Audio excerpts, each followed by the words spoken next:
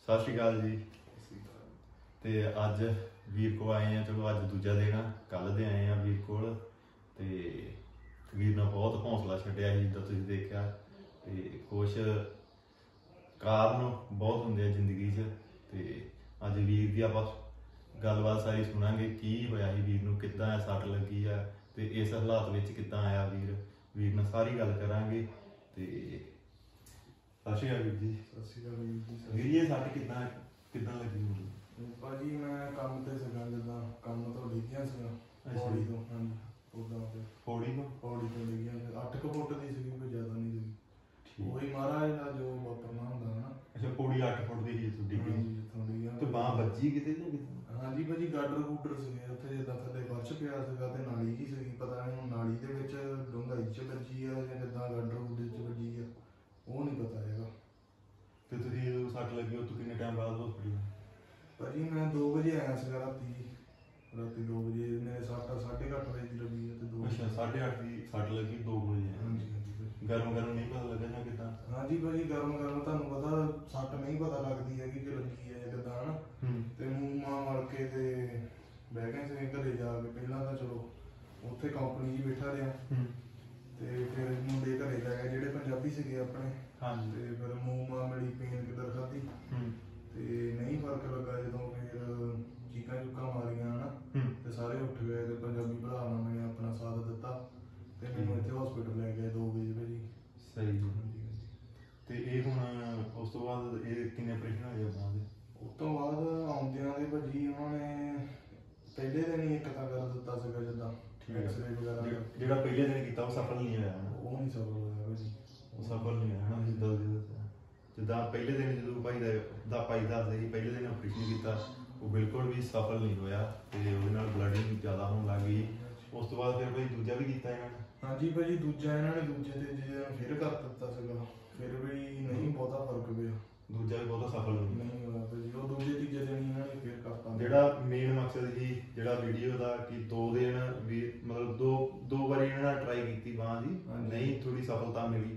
ਤੇ ਪਰ ਵੀਰ ਉਸ ਤੋਂ ਬਾਅਦ ਦਿਲ ਛੱਡ ਗਿਆ ਜਿੱਦਾਂ ਬਲੱਡਿੰਗ ਜ਼ਿਆਦਾ ਹੋਣ ਲੱਗੀ ਕਿਉਂਕਿ ਖਾਨ ਇਹ ਦੋ ਕੁ ਵਾਰੀ ਤਾਂ ਆਪਰੇਸ਼ਨ ਵੀ ਹੋ ਗਿਆ ਸੀਗਾ ਦੋ ਕੁ ਵਾਰੀ ਭਾਜੀ ਇਹਨਾਂ ਨੇ ਉਹ ਪੱਟੀਆਂ ਵਗੈਰਾ ਵੀ ਚੇਂਜ ਕੀਤੀਆਂ ਸੀਗੀਆਂ ਮੇਰੀਆਂ ਨਾ। ਹੂੰ। ਤੇ ਮੈਨੂੰ ਇਦਾਂ ਲੱਗਾ ਕਿ ਆਪਰੇਸ਼ਨ ਹੀ ਕਰਦੇ ਪਏ ਨੇ ਫਿਰ ਆਪਰੇਸ਼ਨ ਹੀ ਕਰੀ ਜਾਂਦੇ ਆ ਅੱਛਾ। ਤੇ ਦੋ ਵਾਰੀ ਇਹਨਾਂ ਨੇ ਪੱਟੀਆਂ ਚੇਂਜ ਕੀਤੀਆਂ ਸੀਗੀਆਂ ਤੇ ਦੋ ਵਾਰੀ ਮੇਰਾ ਆਪਰੇਸ਼ਨ ਉਹ ਸੱਤਾਂ ਕੁ ਦਿਨਾਂ ਦੇ ਵਿੱਚ ਕਰ ਚੁੱਕੇ ਸੀ ਤੇ ਇਹ ਹੁਣ ਜਦੋਂ ਰੋਡ ਆ ਪਾਈ ਇਹ ਤੀਸਰੇ ਆਪਰੇਸ਼ਨ ਨਾਲ ਪਾਇਆ ਇਹ ਹੈ ਤੀਸਰੇ ਆਪਰੇਸ਼ਨ ਤੀਸਰੇ ਆਪਰੇਸ਼ਨ ਨਾਲ ਪਈ ਹੈ ਜਦੋਂ ਮੈਂ ਵੀਡੀਓ ਵਾਇਰਲ ਹੋਈ ਹੈ ਮੇਰੀ ਹਾਂਜੀ ਤੇ ਉਸ ਦਿਨ ਮੈਨੂੰ ਇਹਨਾਂ ਨੇ ਰਾਤੀ ਜਦੋਂ ਮੈਂ ਉਹ ਵੀਡੀਓ ਪਾਈ ਆ ਤੇ ਉਸ ਦਿਨ ਮੇਰਾ ਇਹ ਆਪਰੇਸ਼ਨ ਹੋਇਆ ਸੀ ਤੇ ਤੁਹਾਨੂੰ ਇੰਡੀਆ ਤੋਂ ਆਏ ਕਿੰਨਾ ਟਾਈਮ ਹੋ ਗਿਆ ਇੱਥੇ? ਜੀ ਇੰਡੀਆ ਤੋਂ ਮੈਂ 15 ਜਨਵਰੀ ਨੂੰ ਆਇਆ ਸੀਗਾ ਜੀ।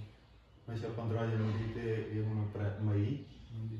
ਤਿੰਨ ਚਾਰ ਮਹੀਨੇ? ਚਾਰ ਮਹੀਨੇ ਹੋਏ ਜੀ ਅੱਛਾ ਬਿਲਕੁਲ ਨਵੇਂ ਹੀ ਆਏ ਨੇ। ਨਵੀਂ ਆਈ ਜੀ ਤੇ ਹਜੇ ਤੇ ਬੋਲੀ ਬਾਲੀ ਦਾ ਇੱਥੇ ਦਾ ਹਿਸਾਬ ਕਿਤਾਬ ਬਹੁਤਾ ਨਹੀਂ ਬਹੁਤਾ ਪਤਾ ਨਹੀਂ ਬਸ ਜੀ। ਤੇ ਤੁਹਾਡਾ ਜੇ ਕੰਮ ਵਾਲੇ ਮਾਲਕਾਂ ਨੇ ਸਾਥ ਦਿੱਤਾ?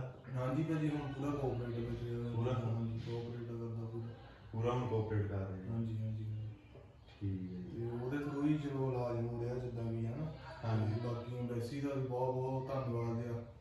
ਅੰਬੈਸੀ ਨੇ ਪੂਰਾ ਸਾਥ ਲਿਆ। ਹਾਂਜੀ ਐਮਬੈਸੀ ਨੇ ਹੁਣ ਪੂਰਾ ਸਾਥ ਲਿਆ ਭਾਜੀ ਸਾਡਾ। ਹਾਂਜੀ। ਤੇ ਧੰਨਵਾਦ। ਡਾਕਟਰਾਂ ਦਾ ਵੀ ਬਹੁਤ ਬਹੁਤ ਧੰਨਵਾਦ ਆ।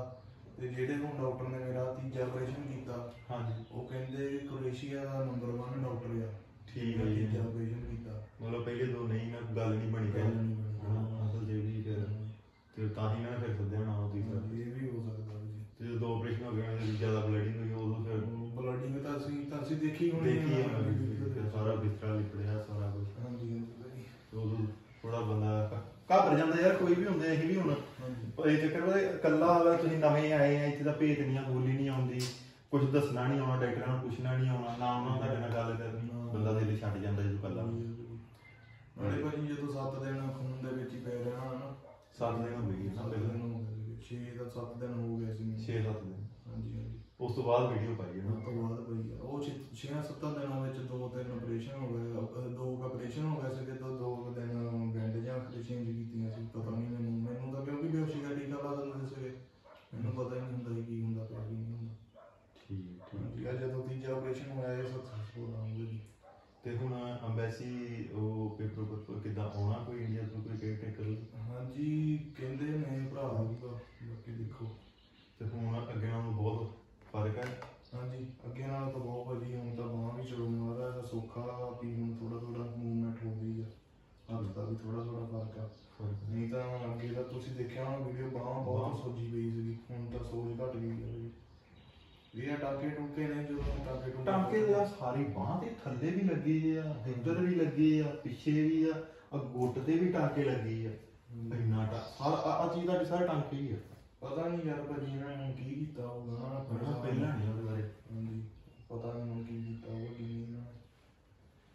ਤੇ ਜਾਂ ਉਹਨਾਂ ਤੋਂ ਪਹਿਲਾਂ ਦੋ ਸੈੱਟ ਨਹੀਂ ਬੈਠੇ ਤਾਂ ਕਰਕੇ ਇਦਾਂ ਜਾਂ ਕਿੱਦਾਂ ਤੇ ਆਪਾਂ ਬਈ ਧੰਨਵਾਦ ਹੀ ਕਰਦੇ ਆ ਜਿਨ੍ਹਾਂ ਵੀਰਾਂ ਨਾਲ ਵੀ ਵੀਰ ਦਾ ਸਾਥ ਦਿੱਤਾ ਇੰਡੀਅਨ ਐਮਬੈਸੀ ਨਾਲ ਬਹੁਤ ਸਾਥ ਦਿੱਤਾ ਵੀਰ ਦਾ, ਉਸ ਤੋਂ ਬਾਅਦ ਵੀਡੀਓ ਤੋਂ ਬਾਅਦ ਤੇ ਉਸ ਤੋਂ ਬਾਅਦ ਡਾਕਟਰਾਂ ਨਾਲ ਵੀ ਬਹੁਤ ਸਾਥ ਦਿੱਤਾ ਵੀਰ ਦਾ ਤੇ ਆਪਣੇ ਪੰਜਾਬੀ ਭਰਾਵਾਂ ਨੇ ਵੀ ਬਹੁਤ ਸਾਥ ਦਿੱਤਾ। ਹਾਂਜੀ ਤੇ ਬਾਕੀ ਅਸੀਂ ਵੀਰ ਦੇ ਲਈ ਹਰ ਟਾਈਮ ਹਾਜ਼ਰ ਹਾਂ ਸੇਵਾ ਦੇ ਵਿੱਚ, ਬਸ ਵੀਰ ਹੁਕਮ ਕਰੇ, ਜਿੰਨੇ ਵੀ ਔਕਾਤ ਦੇ ਮਾਲਕ ਆ, ਜਰੂਰ ਵੀਰ ਦੇ ਜਿੰਨੇ ਵੀ ਕੰਮ ਆ ਸਕੇ ਵੀਰ ਜਰੂਰ ਕੰਮ ਕਰੇ ਸਾਡੇ ਤੋਂ ਮਤਲਬ ਜਦੋਂ ਵੀ ਤੁਹਾਨੂੰ ਵੀਰ ਦੀ ਲੋੜ ਪੈਂਦੀ ਹੈ ਜ਼ਰੂਰ ਜੀ ਮੈਂ ਕਿਹਾ ਦੇਣ ਹੋਵੇ ਰਾਤ ਹੋਵੇ ਤੁਸੀਂ ਬਸ ਇੱਕ ਮੈਸੇਜ ਕਰ ਦਿਓ। ਹਾਂਜੀ। ਅਸੀਂ ਹਾਜ਼ਰ ਹੋਵਾਂਗੇ ਜ਼ਰੂਰ ਭਾਜੀ ਨਹੀਂ ਬਹੁਤ ਆ ਭਾਜੀ ਤੁਸੀਂ ਦੋ ਦਿਨ ਮੇਰੇ ਲਈ ਕੱਢੇ ਹਨਾ ਚਲੋ ਚਲੋ ਤੁਹਾਨੂੰ। ਆਉਂਦੇ ਆ ਦੂਜਾ ਦਿਨ ਆ ਤੇ ਬਹੁਤ ਦਿਨ ਨੂੰ ਤਸੱਲੀ ਹੁੰਦੀ ਹੌਸਲਾ ਹੁੰਦਾ ਜਦੋਂ ਇੰਨੀ ਦੂਰੋਂ ਤੁਸੀਂ ਆਏ ਹੋ ਠੀਕ ਤੋਂ।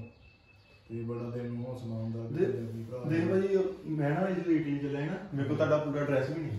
ਅੱਛਾ ਜੀ। ਕੁਝ ਨਹੀਂ ਮੈਂ ਇਟਲੀ ਚੱਲਿਆ ਮੈਂ ਵੀਡੀਓ ਪਾਤੀ ਇੱਕ। ਅੱਛਾ ਜੀ। ਮੈਂ ਮੈਂ ਭਾਜੀ ਚੱਲਿਆ ਜੇ ਕੋਈ ਵੀਰ ਨੂੰ ਐਡਰੈਸ ਹੈਗਾ ਪਤਾ ਵਾ ਮੈਂ ਮੜਾ ਕੇ ਤੇਜ ਨੂੰ ਪੁੱਛਿਆ ਨਾ ਤੇ ਕੁਲਵਿੰਦਰ ਭਾਈ ਦਾ ਨੰਬਰ ਵੀ ਸੀ। ਮੈਂ ਕੋਈ ਉਹ ਕਹਿੰਦਾ ਕਿ ਜਿੱਦਾਂ ਇਹ ਆਹ ਕੀੜਾ ਤਾਂ ਤੁਹਾਡੀ ਰਾਜਧਾਨੀ ਕਿਹੜੀ ਜੀ ਜੀ ਹਾਂ ਜਗਰੇਰ ਇਹਦੇ ਹਸਪੀਟਲ ਚ ਆ। ਅੱਛਾ ਜੀ। ਇਦਾਂ ਐਡਰੈਸ ਜਾਂ ਮਿਲਿਆ ਮੈਨੂੰ ਥੋੜਾ ਜਿਹਾ ਅੱਛਾ, ਤੁਹਾਡਾ। ਤੇ ਮੈਂ ਬਾਬੇ ਦਾ ਨਾਮ ਲੈ ਕੇ ਫਿਰ ਮੈਂ ਨਿਕਲ ਮੈਨੂੰ ਉੱਥੋਂ ਇਟਲੀ ਤੋਂ ਪਿਆ ਤੁਹਾਡਾ ਇੱਥੇ 400 ਕਿਲੋਮੀਟਰ। ਠੀਕ ਹੈ ਠੀਕ 400 ਕਿਲੋਮੀਟਰ ਦਾ ਸਫ਼ਰ ਹੀ। ਅੱਛਾ ਜੀ। ਤੇ ਮੈਂ ਬਾਬੇ ਦਾ ਨਾਮ ਲਿਆ ਮੈਂ ਬਾਬਾ ਮੁਲਾਕਾਤ ਜ਼ਰੂਰ ਹੋਏ ਵੀਰ ਨੂੰ ਮਤਲਬ ਵੇਖ ਲਈਏ ਇੱਕ ਵਾਰੀ।